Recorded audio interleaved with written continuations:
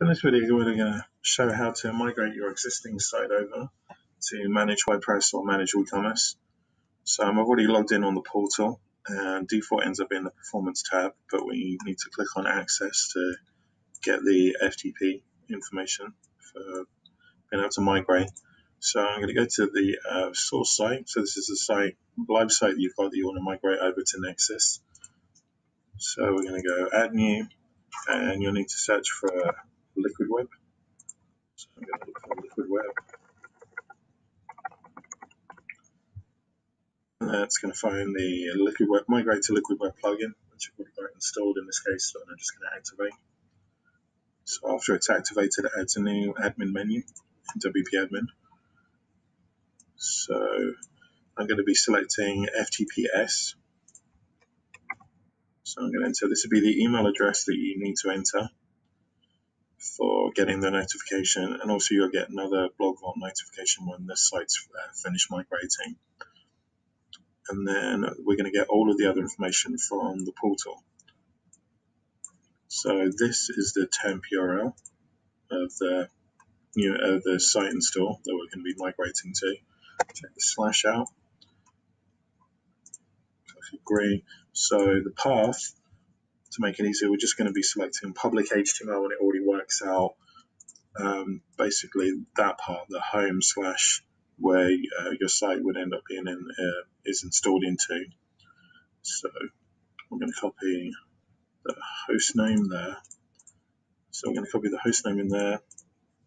And then the FTP user will be the one that's already created for uh, the default one. So I'm going to copy that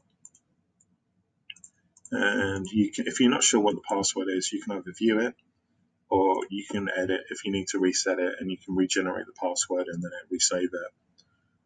So in this case, I'm just going to end up viewing the password. So I'm going to click view password and that is the password. So I'm going to copy that. And then we've got all the information. We've got the uh, we've got the email address notification yeah, is the one you want to get out. This the destination site URL, which is the temp one, the host server address, uh, FTP username, FTP password, and also the directory path.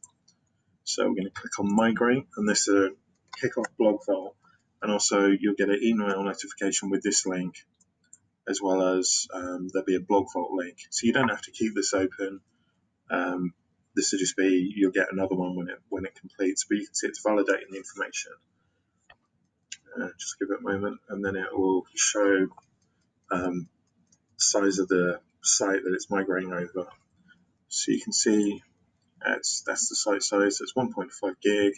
Those are the amount of tables, and that's the migrating that source site to temp domain. And then after it's copied all of the files over, then it start it show progression on the migration uh, bar there in the BlogVault link. So the other one you want to do is when you finish, when the migration is completed, uh, you want to log in on the site. So this will be the site on the temp domain. And this one we're just going to show show the example on, on another migrated site. So there'll be two things you want to do. Be, um, if you have a Redis object cache enabled, there'll be a Nexcess logo which shows, and you can click on Flush Object Cache. So that's going to clear all of the Redis object cache. And also you want to resave permalinks uh, just to make sure that none of the links are broken or anything on the site after you migrate it. So I've resaved, flushed the permalinks, and that now means that the, the site's been migrated over and uh, you can test your site on the temp domain, make sure everything's okay before going live. But that should cover uh, how to migrate over your existing site using FTPS um, over to manage WordPress or manage WooCommerce.